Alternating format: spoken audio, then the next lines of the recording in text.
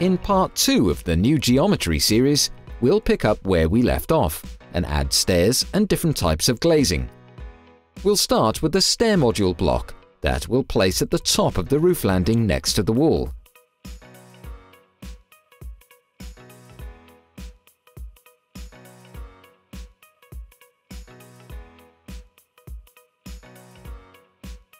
We can make a copy of that to create the next stair down.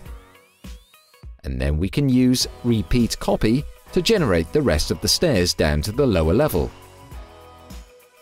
By doing that, we've done a couple of useful things. We've quickly created the stair, but since the stair is touching the wall, we've also created a boundary that we can use to generate the lower stair. We can select the boundary and extrude it outward to create a monolithic stair mass.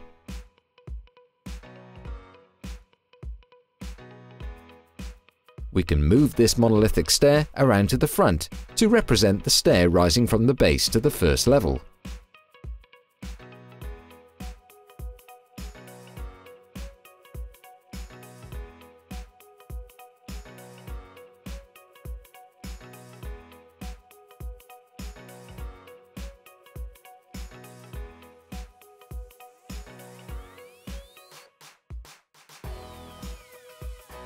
Now let's add some transparency to the design by adding some windows.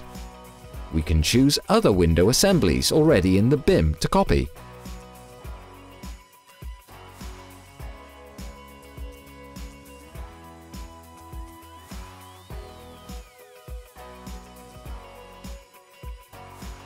And we will insert another version of this window assembly on the other side as well.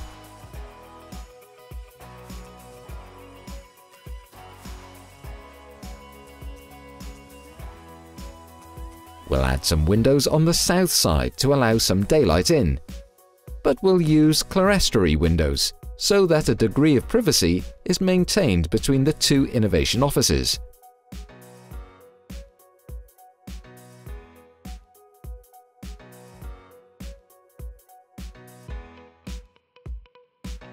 We'll add them on both stories.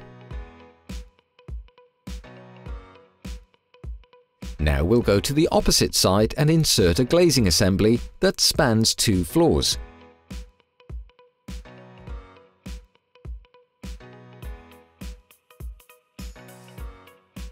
We can initially position it within the wall. Then by selecting Control, we can change the size of the overall window assembly itself before locking in its placement. Once we do that, we can make any final location adjustments and then complete the glazing insertion. We'll also quickly place an exterior glass door to access this area.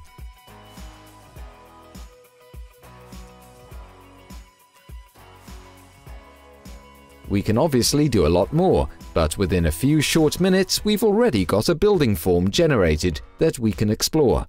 We've generated stairs, and we're starting to look at how and what type of glazing and window assemblies could be used.